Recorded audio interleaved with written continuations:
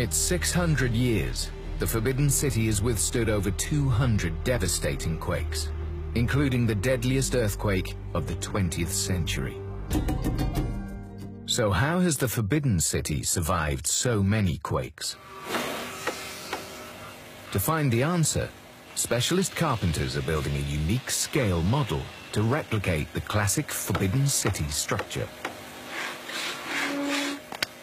To be as accurate as possible, it is being made using traditional carpentry tools and techniques. The scale is 1 to 5, a fifth of the original size.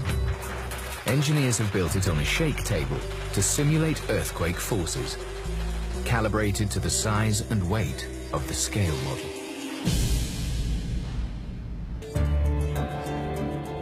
These beams and columns are the structural core of all the Forbidden City's buildings.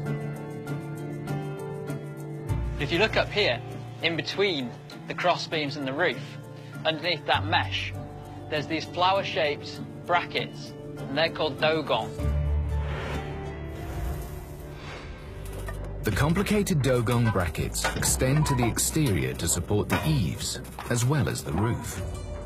They sit on the large beams supported by the tall columns. But the columns are not founded in the earth and are freestanding.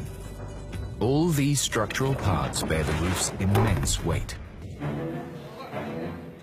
Now, in a series of unique tests, the Forbidden City seismologist Dr. Joe will subject the scale model to a series of simulated quakes to discover how the Forbidden City's intricate parts react and see what magnitude of quake they can survive. So a 9.0, this is like a very, very big earthquake. 柱顶时开始产生错动。the test now moves beyond magnitude 9.5, the largest recorded quake in history. The equivalent energy to well over 2 billion tons of TNT. 十点一级地震开始。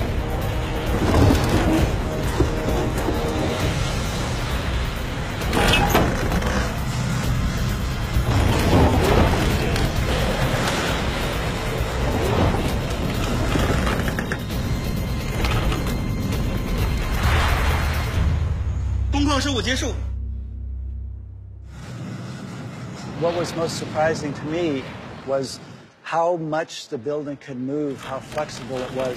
Nothing was damaged, and it could survive a 10.1 earthquake. This is a, a fabulous proof of the genius of uh, Chinese traditional architecture.